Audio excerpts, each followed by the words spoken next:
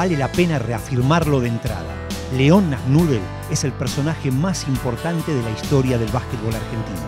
Lo ratificamos a 15 años de su muerte porque su incansable lucha y la posterior implementación de la Liga Nacional de Básquetbol como sistema de competencia fue el origen de la innegable evolución mostrada por el básquetbol argentino desde 1985 pero Nasnudel pronosticó desde el primer día en que presentó el proyecto de Liga Nacional que sería la selección el mayor ejemplo de esa superación.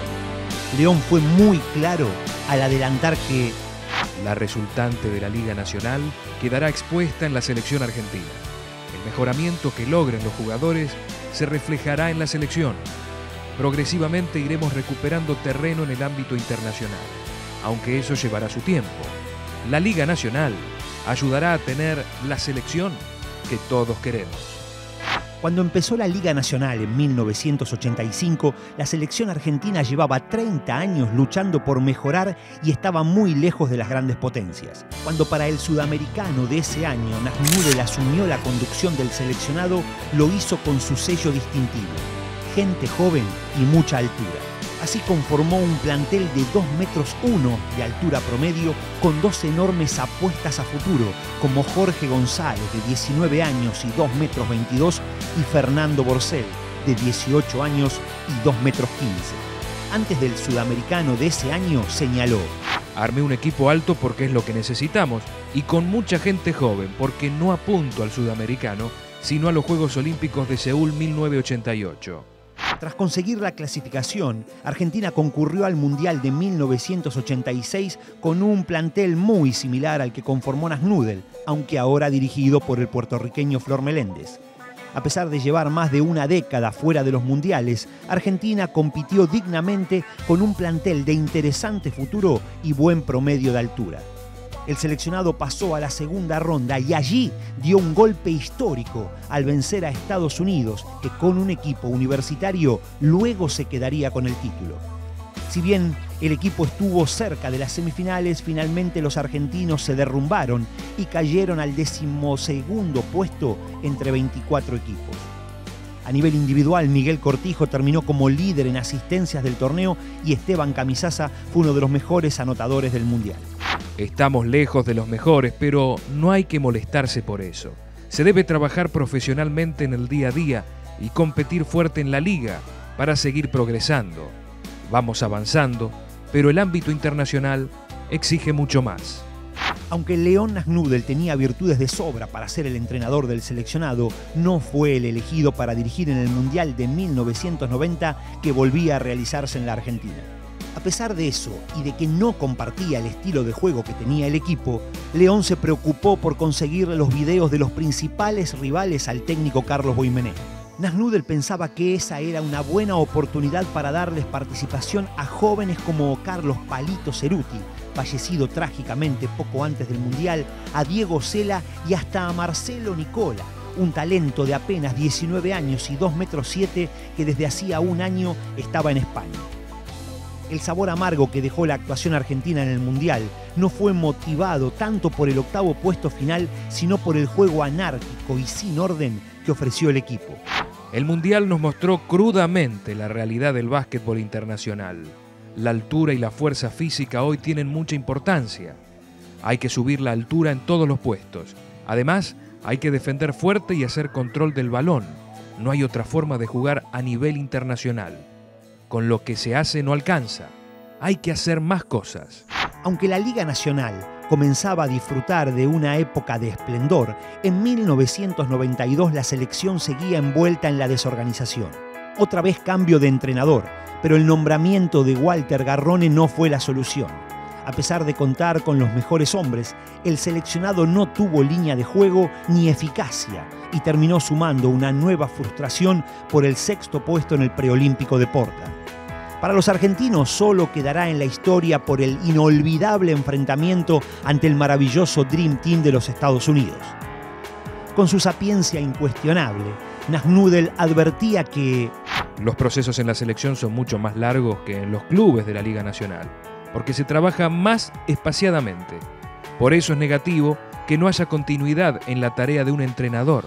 Así, no vamos a avanzar. Aunque desentía con Guillermo Vecchio en casi todos los aspectos profesionales, se alegró por la designación de un entrenador por un periodo olímpico y aprobó la llegada al seleccionado de jóvenes como Marcelo Nicola y Rubén Volkowicz. La Liga Nacional seguía su marcada evolución en los años 90 y el Mundial del 94 dejó un noveno puesto del que él destacaba las buenas victorias ante Alemania y España. Todavía no tenemos la fuerza para enfrentar a las potencias. Nosotros avanzamos y los demás también lo hacen. Creo que tenemos posibilidades de pegar un salto a nivel mundial. La etapa iniciada con la liga llevará todavía varios años. Hay que tener paciencia, pero dará sus frutos también en la selección y una enorme alegría llegó poco después, con el regreso, luego de 44 años, a los Juegos Olímpicos. Aquella participación olímpica en 1996 con el noveno puesto final, Nagnudel la tomó como un síntoma concreto de que se estaba por el buen camino, que la selección argentina comenzaba a trepar en el ámbito internacional. Al tomar Julio Lamas, el seleccionado en 1997, le hizo escuchar algunas recomendaciones como prestar atención a todos los jugadores que estaban en Europa, sobre todo a Hugo Sconocchini, quien no había debutado en la selección, y exigir varios partidos de preparación antes de cada torneo. Sin embargo, después del Mundial Sub-22 de Australia en el 97, no le pasó por alto que algo nuevo se aproximaba. En un mano a mano con Lamas, cuando el objetivo ya era el Mundial del 98, se animó a aconsejarle.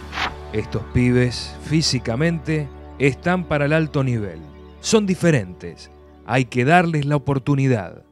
Lamentablemente, León no pudo ver que esos pibes empezaban a desembarcar en la selección para llevarla a la aventura más maravillosa jamás pensada. Una inoportuna enfermedad se lo llevó mucho antes de lo esperado. Aquel Mundial de Atenas dejó un octavo puesto desabrido, pero que le abrió la puerta a una nueva generación entraría con la prepotencia de su calidad y de su esfuerzo para agregarle el capítulo más brillante de su historia al básquetbol argentino. Seguramente ni un visionario como el propio Nasnudel pudo vislumbrar todo lo que se desencadenaría de manera tan vertiginosa y arrasadora. Entonces llegó el salto a la cima, con un golpe que sacudió al mundo del deporte como fue aquella bautismal victoria ante un Dream Team norteamericano y el fantástico segundo puesto en el Mundial del 2002. Después, como un desafío a la historia y una irreverencia ante los poderosos de siempre, vino un nuevo triunfo ante los NBA y la gloria eterna con el sueño insuperable del oro olímpico en el 2004. Y más tarde, contra todos los pronósticos, los festejos se extendieron con un esforzado bronce en los Juegos de 2008, que como premio lo llevó al primer puesto del ranking de la FIBA. Muchos triunfos y conseguidos demasiado rápido por esos que fueron y son los hijos de la Liga Nacional. Con ellos, que nacieron de ese torneo, se benefició la selección tal como había adelantado León Nagnudel en 1982, quien sin embargo no se sintió nunca el dueño de nada.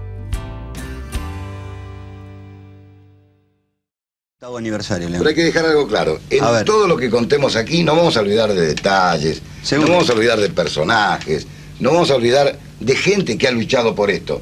O sea, esto no es más de nadie. Esto no le pertenece a nadie. Acá no hay inventores, no hay quien la creó. Quien, acá ya es una realidad y esto pasó a ser de todo el mundo.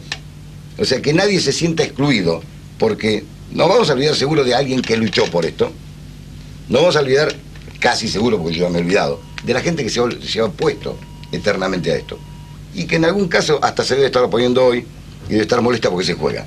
Eso es historia. Lo importante y que se está jugando y que no le pertenece a, nadie en especial, le pertenece al deporte argentino.